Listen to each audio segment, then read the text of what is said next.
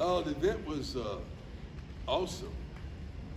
The part that I love the most is certainly the Q and A with the kids as well as the parents. But then when it was time to do the photo at the conclusion, just to see the excitement and the happiness and the pure joy on the faces of the kids was unbelievable. I love that. You know, I'm a father of five, so I'm affectionate and caring when it comes to anything that involves kids. So that was unbelievable today. And also, you know, to be a part of the Guinness Book of World Records as well. That was phenomenal. Uh, tell me about this this title here, CMO. What does it mean to be chief? CMO, I, I first of all I love it. First and foremost, that's my first being first time being a CMO, and it I think it describes me perfectly. And I love this partnership and this relationship, and I'm all in. Um, I pride myself on staying healthy, um, mentally, physically, psychologically, spiritually, strong as well. So I'm excited to to be able to try my darndest to motivate the masses. Where does this event rank for you, the uh, your chief motivational officer? Well, I've been involved in a, in a lot of things, but I, I'm telling you, the title, the title gets it. The title is a is a attention grabber, and, and, and I absolutely love it. Um, whoever thought of it, God bless you. I love it. Um, from your perspective, why is it important to have families spending time together, being active?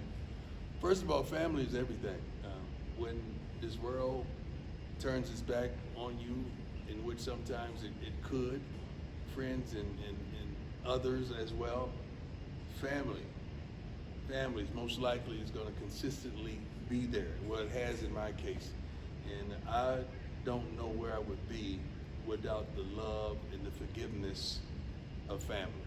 And I'm thankful that family is is one of our core components of what we're trying to accomplish here. Um, did you did this event bring back any memories for you from when you're? Yeah, I mean, you got to understand. Uh, I've done youth camps for kids for a long time. I mean, I can remember our first youth football tryout camp for my youth organization called Truth, and we had 1,200 kids at the Cotton Bowl, which was unbelievable. We had no idea of how many kids were going to show up, and not only did they show up, they showed out, and it was phenomenal. And from then on, we had one of the top or the leading youth organizations in the country. So, so just pouring into youth and giving them the opportunity to hone in on their skills, but often just to give them opportunity to have fun with their parents. That's a blessing. Coach, do you feel like it keeps you young? Am I looking there? There.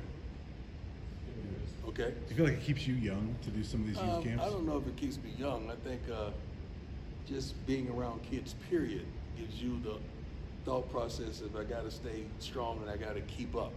So I don't know if it keeps me young, but it has me thinking about making sure I'm able to stay in the consistency of shape so that I can accomplish some of the things that I dreamt of accomplishing in life.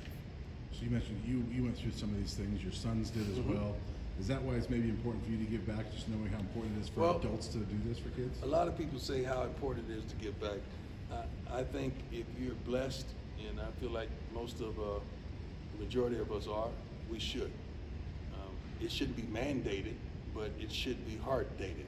That if that's in your heart, I feel like you should do what is ever in your heart. It's in my heart to to be a blessing because I've been tremendously blessed. And then being a part of a, a record, you kind of mentioned it, but Right. is that pretty cool too to just uh, have these kids set a record? First of all, the Guinness Book of World Records have been around for I don't know how long.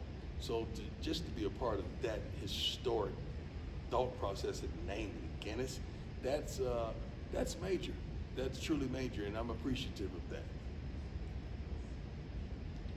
you know, as we get older, and our kids, we have our kids. Uh-huh. It's easy to kind of neglect yourself and not take care of yourself. T- but not today. You saw parents participating with their kids. And- and is that the that. secret sauce to family and health? Is sharing those. Well, the secret together? sauce is love. The secret sauce is love and understanding. That's the secret sauce. But anytime we have an opportunity to be in one's life, um, doing something that we unitedly share, it's a true blessing. I get to come to I don't call it work. I get to come to my calling every day and see my kids, and see my sister, see my mother, um, see my dog. Um, that's family. And just to be able to come every day to do that—you're talking about a blessing. It's hard for me not to smile. What